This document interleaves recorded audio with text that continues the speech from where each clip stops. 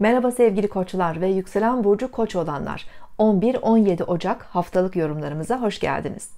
Sevgili koçlar, Güneş Oğlak burcunda ilerlemesini sürdürüyor.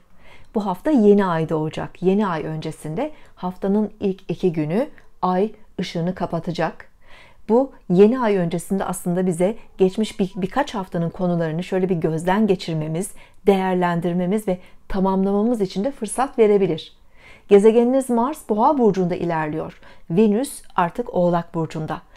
Ee, gökyüzünde toprak elementinde bir yoğunlaşma var. Bu da bizim elle tutulur somut konulara, maddi güvenliğimizle ilgili paramız, kaynaklarımız, gelir gider dengemiz, kariyerimiz, işimiz, gücümüz bu alanlara daha fazla odaklanmamızı sağlayacak.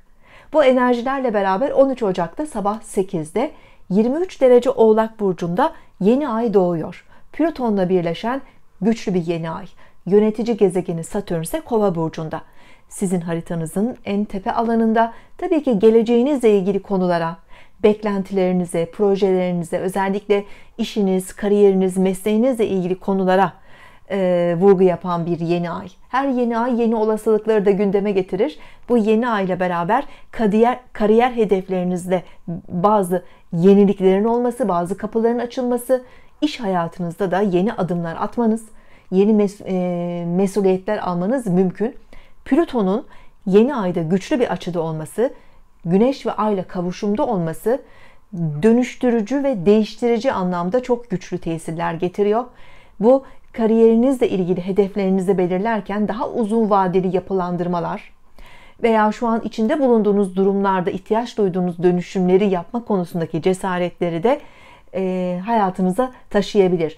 Üstlerle olan ilgili konular yani otorite e, figürleri hayatınızda bunlar aile büyükleriniz de olabilir, ebeveynleriniz olabilir, çalıştığınız ortamdaki üstleriniz olabilir, yöneticiler olabilir veya toplumsal anlamda devlet ve e, yine yasal alanlarla ilgili konular olabilir.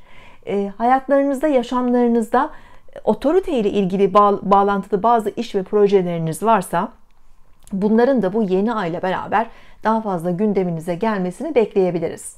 Yeni ayın ardından Perşembe ve Cuma günü Ay Kova burcunda olacak. Biraz daha bizi yine uzak hedeflerimize, ideallerimize odaklayacak ama e, ay geçişi duygusal anlamda e, özellikle sosyalleşme, bilgi paylaşımı, kültürel konular, iletişim gibi alanlarda günlük hayatımızdaki enerjileri yoğunlaştırabilir. Ay e, kovadan geçerken tabii ki Satürn'le birleşecek, Boğa burcundaki Mars'la açılar yapacak, Uranüs'le açı yapacak.